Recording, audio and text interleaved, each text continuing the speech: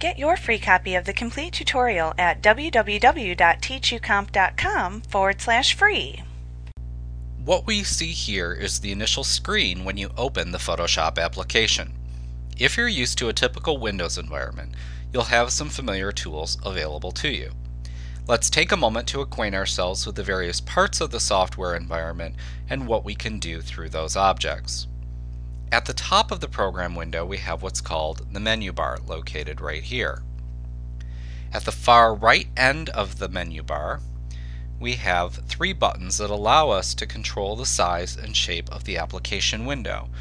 We have minimize, maximize and restore, and of course the red X for close. Now note that when you click those buttons, that it controls the sizing of the entire application, not just the image file upon which you happen to be working. So for example, if I click minimize, it will minimize the entire Photoshop application. I can then go down into the taskbar, click the icon for Photoshop, and it will restore the application for me. If you're using version CS3 or earlier, and if you have the image window maximized, then it will also display the name of the image, its percent magnification, its layer name, and the color model, RGB, CMYK, etc. In versions CS5 and CS4, that information will display in the Image tab below the Options bar. You'll see that right here. The menu bar also contains the commands for performing tasks in Photoshop grouped by category. For example, the File command, located here, contains all of the necessary commands for file management. You can click on one of the commands as I've just done in the menu bar to display a drop-down listing of the subcommands that are available to perform. You can then click on the command that you want to perform. Some subcommands are followed by a right pointing arrow, like we see here for Open Recent. And that indicates that you must make a selection to execute that command. Those commands you simply hold your mouse pointer over until you see the side menu appear. Then slide your mouse pointer into the side menu to click on one of the available command choices. Some commands are followed by an ellipsis mark, such as open. Those commands will then launch a dialog box when clicked into, which you must input additional information or make a selection before you can execute that command. For example, if you selected File and then Open from the menu bar, you'll be presented with the Open dialog box that we see here, where you would need to find a file to open for editing. In these dialog boxes that do appear, you can click the Cancel button, located in the bottom right hand corner, or press the Escape key on your keyboard to cancel the window without making a choice. We'll go ahead and cancel that for right now.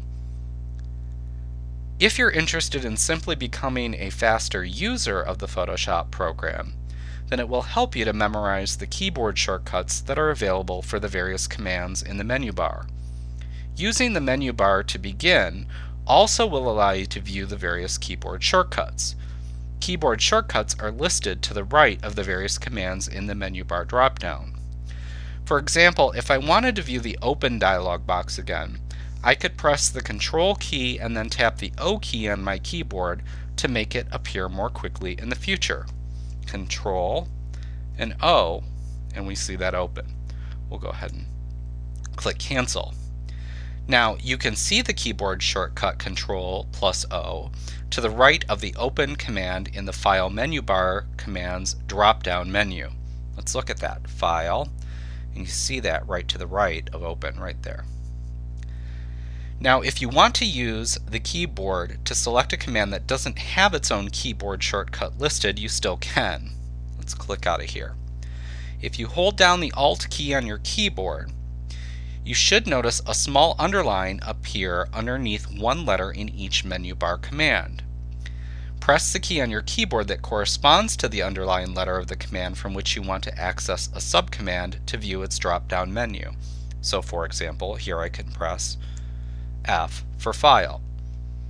You will see that each subcommand, with a few exceptions, has an underlined letter. You can then just strike the underlined letter to execute that command. Note that some of the commands under the filter command, let's look at that, here under filter, don't have underlined letters. In that case, you can just press the first letter of the command. If there is more than one command that starts with the same letter in the menu dropdown, just keep pressing the letter to cycle between all of the commands that start with that letter until the one you want is selected.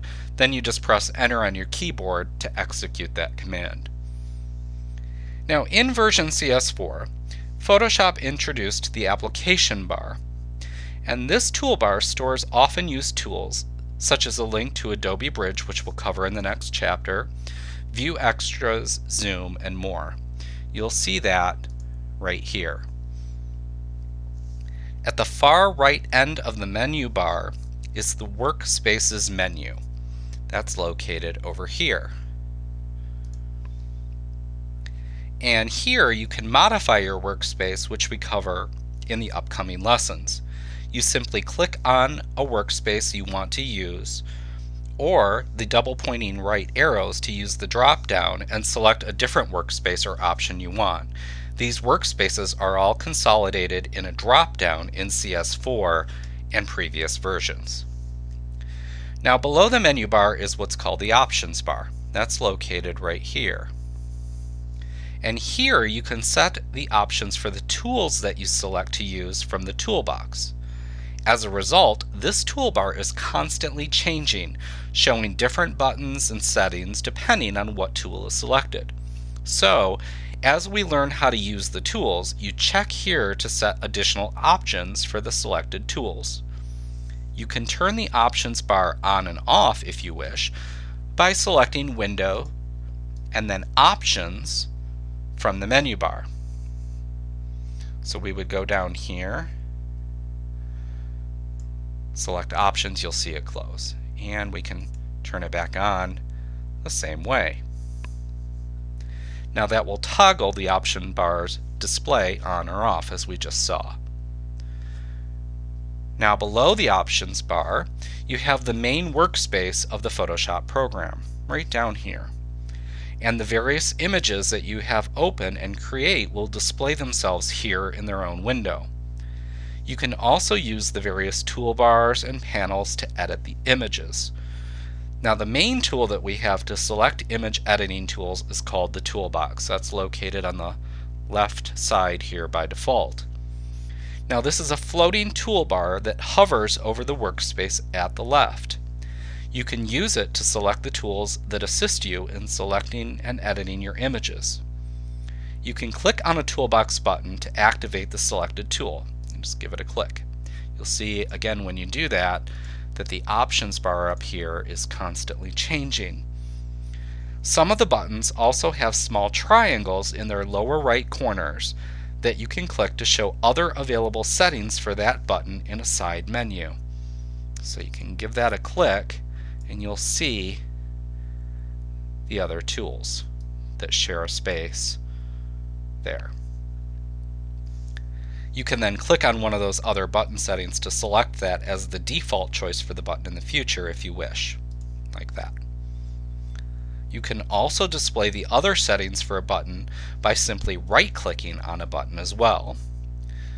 You can also hold down your mouse pointer over any one of the buttons to view its name in a screen tip. So if you forget what those buttons are, just hold your mouse pointer over it, as we see the red eye tool there, pattern stamp tool, and so forth. And that's that small yellow box that appears. Now note that it will also show the keyboard shortcut key that you can also press to select the toolbox buttons you simply hold down the shift key on your keyboard while pressing one of those keyboard shortcuts and you'll switch to that tool. Tap those same keys again and you'll switch to the next tool that shares that same space. If you want to move the toolbox, then place your mouse pointer over the small title bar at the top of the toolbox, right here up at the top, and then just click and drag it anywhere you wish in the application. Now you may have to do this quite a bit as you're working with your images. Now you can also expand and collapse the toolbox by clicking the double pointing arrows at the top right here.